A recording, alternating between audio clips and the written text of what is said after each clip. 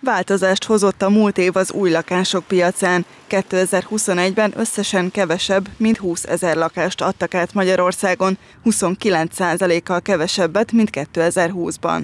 Azért épülhetett kevesebb lakás, mert a szigorúbb energetikai szabályozások tervezett, de elhalasztott határideje miatt sok építető már 2020-ban befejezte a megkezdett építkezéseket.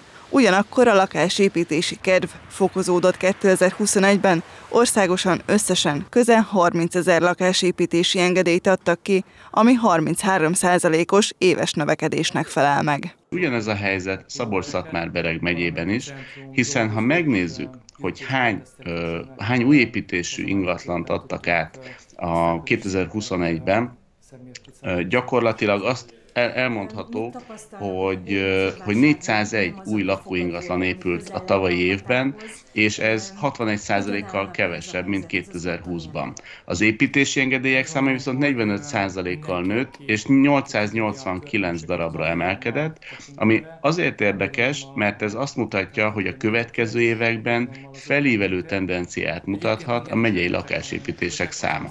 A lakások vásárlásának lehetősége is változott 2021-ben. Ősszel elindult a Zöld Otthon program 200 milliárd forintos hitelkerettel.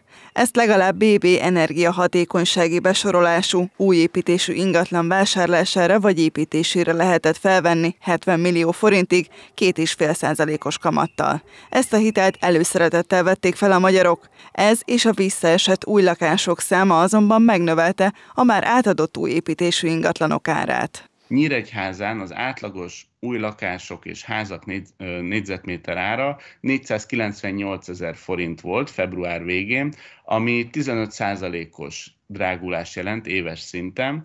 Ez még mindig az egyik legolcsóbb árszintnek felel meg a magyarországi megyeszékhelyek között, és ebből a szempontból a nyíregyházi vásárlók és a megyei ö, új lakásvásárlók, vagy új házat vásárlók abszolút jó helyzetben vannak, hiszen a jövedelmekben nincs akkora különbség, mint amekkora különbség mutatkozik az új lakásárakban.